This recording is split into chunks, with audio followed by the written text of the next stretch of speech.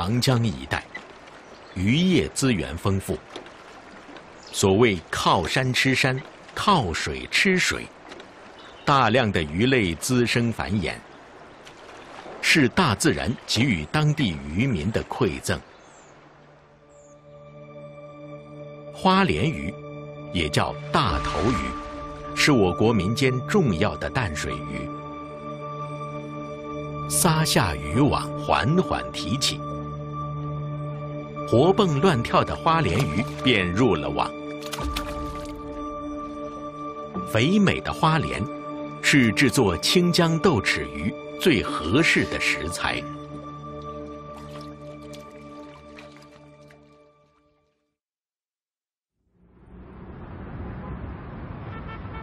黄长彪，清江豆豉鱼第四代传人。为了美味的延续，黄长彪来到荣昌最大的菜市场，选购这道菜中必不可少的一味黄豆。老板你好，我买点豆子，不，这个不是本地豆的，本地豆在哪里？黄长彪挑选豆子，从来不会只观其形。更要尝其味。嗯，会。老板来，我称称点嘛。挑到。称个三十斤嘛。要得好。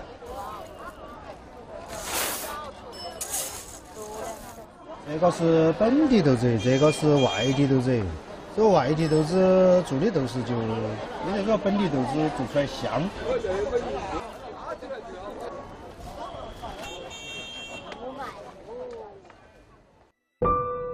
黄豆，中国重要的粮食作物，已有超过三千年的栽培历史。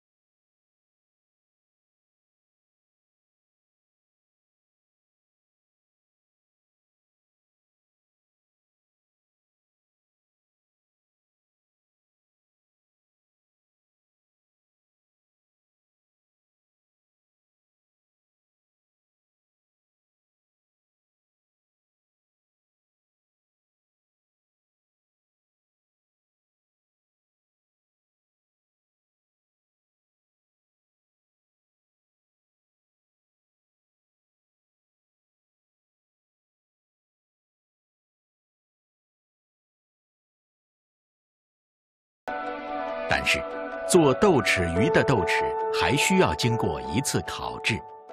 烤了过后，使它那个里头的水分蒸发了过后啊，它就撒在鱼面上，经过那个油的激发，它那个味道就直接会渗到那个鱼里头。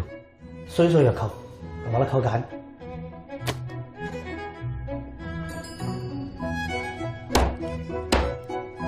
黄长标制作的豆豉鱼。一直延续着父辈们最传统的做法。鱼像原来用的是最那个的是河头的那种轻薄但现在那种鱼是找不到了。我们最常用的是花鲢，做起来首先要嫩点，还有个腥味都不是那么重。为了保证鱼能入味儿，花鲢切成小块，加少许盐、高粱酒腌制。豆豉鱼嫩而不腥。关键全在这高粱酒中。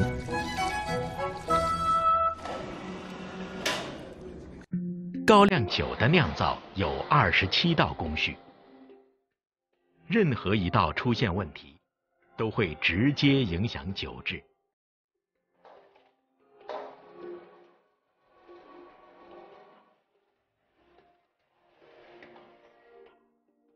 新鲜的高粱。出蒸时间为两小时，蒸煮达到内无生心，外微开花，才能保证高粱完全熟透。贪凉下曲，是与时间的赛跑。需要的是速度与精度的配合。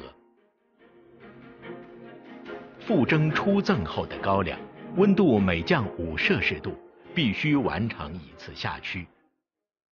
四十五摄氏度到三十五摄氏度之间，是投放酒曲的最佳时机。酒曲三指一搓，一搓三十克，纸散曲落，均匀覆盖。铺好酒曲的高粱需要翻拌均匀，再铺上一层谷壳，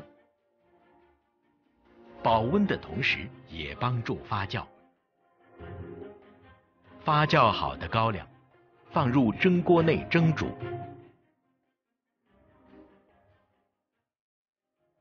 蒸出的水汽将顺着气管循环冷却，酒香四溢。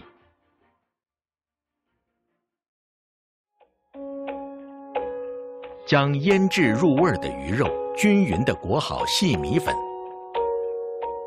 放入蒸笼蒸上三分钟。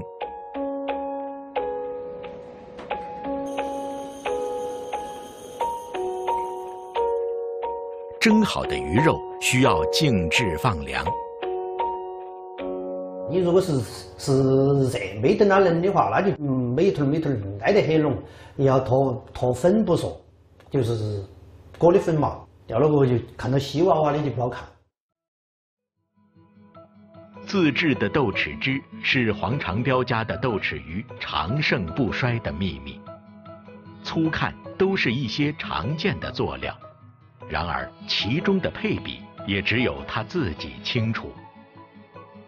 冷却后的鱼肉雪白细腻，却像一个涉世未深的白面小生。